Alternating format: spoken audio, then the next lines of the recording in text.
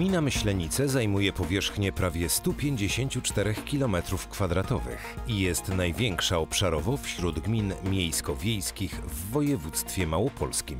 Na terenie kilkunastu wsi oraz w stolicy powiatu mieszka łącznie ponad 44 tysiące osób, z czego więcej niż 6 tysięcy to ludzie po 65 roku życia. Statystyki przewidują, że w ciągu kilku lat będą oni stanowić aż 25% ogółu ludności gminy.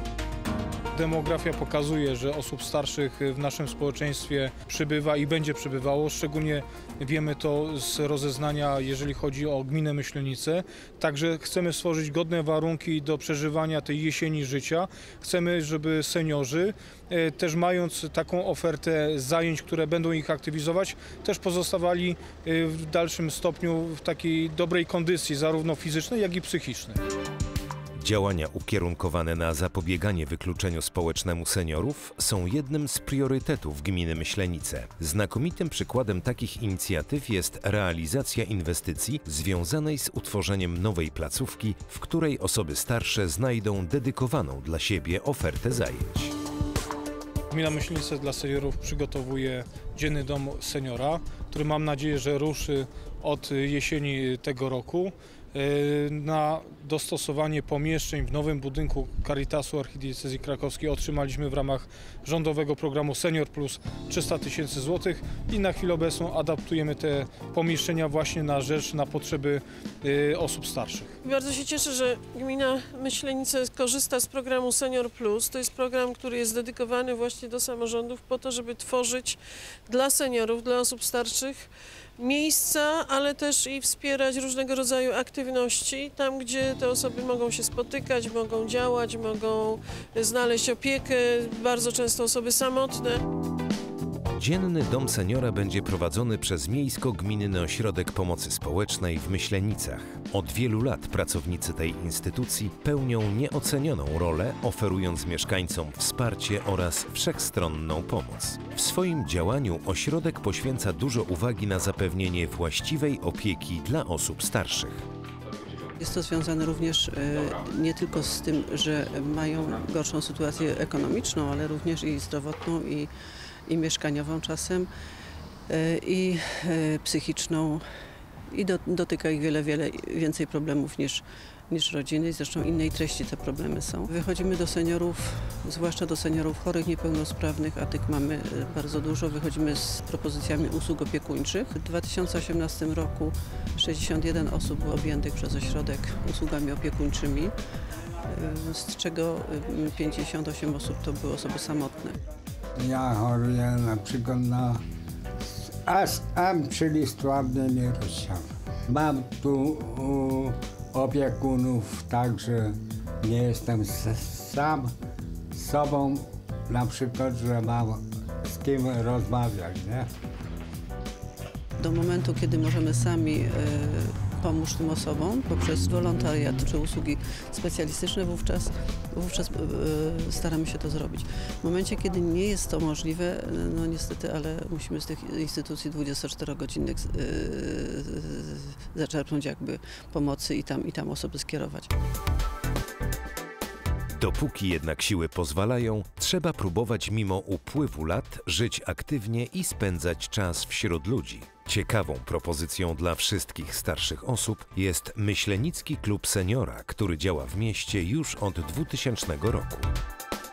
Coraz więcej ludzi przybywa, no przeważnie panie, panów mamy mało, dziesięciu, ale panie się cieszą, że mogą przyjść w ten czwartek, myślą jak się ubrać, jakie założyć korale, dbają o siebie. Zapraszamy różnego rodzaju y, wykładowców, przedstawicieli różnych urzędów, którzy przybliżają nam y, sprawy, jak poruszać się y, w codziennym życiu. Ja sądzę, że to, że istnieją kluby seniora, ludzie mogą przyjść, jeszcze posiedzieć sobie, porozmawiać, y, coś od siebie dać, y, to y, duże ma bardzo duże znaczenie, bo ci ludzie czują się wtedy zdrowsi, bardziej sprawni, bo to ich mobilizuje. Wyjść z domu, nie siedzieć przy telewizorze, oglądać seriale, tylko po prostu samo wyjście z domu, a już jak wyjdą, raz, drugi raz przyjdą, to już i zostają.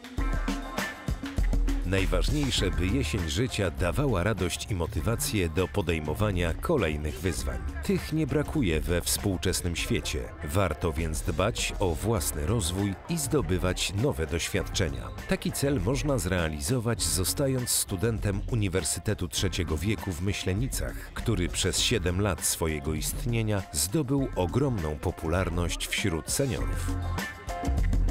Zebraliśmy się małą grupką osób i stworzyliśmy taki y, klub na początku, który miał kilkanaście osób i zaczęło się to przez te lata bardzo rozrastać. Y, Także w tej chwili jest nas 186 osób. Mamy mm, przeróżne koła zainteresowań intelektualne i artystyczne, gimnastyczne i turystyczne. Ważne jest to, że jesteśmy ze sobą razem, że rozmawiamy, y, że jesteśmy wspólnotą, którą łączy wspólny cel y, nasze doskonalenie, nasza ciekawość świata, ciekawość życia, wymiana doświadczeń, rozmowy różne o wnukach, o rodzinie, o turystyce, o świecie. Także y, jest ciekawie. Mówiąc o starszych osobach, nie powinniśmy zapominać o tym, jak duża jest ich rola w pielęgnowaniu lokalnych tradycji. Doskonale to widać podczas dorocznego konkursu palm wielkanocnych.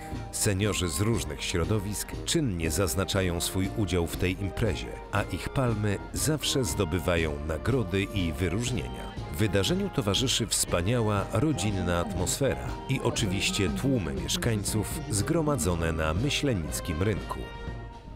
Jesteśmy inicjatorem, pomysłodawcą tego konkursu wielkanocnego. Nie robimy go sami, robimy go we współpracy z Myśleńskim Ośrodkiem Kultury oraz z Urzędem Miasta pod honorowym patronatem burmistrza, e, który w tym roku ufundował Grand Prix. Ta współpraca jest o tyle cenna, że e, powstają e, co roku nowe pomysły. Jednym z ostatnich takich pomysłów jest dodatkowa oferta w postaci wielkanocnych potraw, które wystawiają Stowarzyszenia Gospodyń Wiejskich, co bardzo urozmaiciło tą ofertę.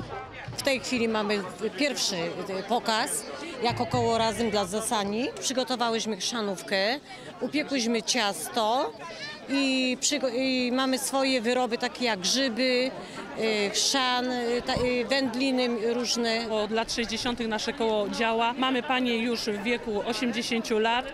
Przychodzą ze względu na to, żeby zabić swój czas, żeby czuć się potrzebnym w gronie innych osób i zawsze możemy na nie liczyć. W ten oto sposób tradycja staje się częścią naszego codziennego życia, a starsze pokolenia przekazują kolejnym cenny fragment swojej historii, wiedzy oraz doświadczenia. Możemy z tego czerpać tym więcej, im bardziej zadbamy o satysfakcjonującą jesień naszych seniorów. Jestem przekonany, że my jako samorządowcy, jako włodarze gminy powinniśmy pamiętać o tych, którzy całe życie e, poświęcili pracując właśnie na rzecz e, naszego lokalnego e, społeczeństwa, którzy nieraz też byli pewnymi wzorami w swoich społecznościach, poświęcili bardzo dużo swojego życia prywatnego czy zawodowego, aby budować tą gminę i budować ten wizerunek gminy, jaki mają myślenice właśnie dzisiaj.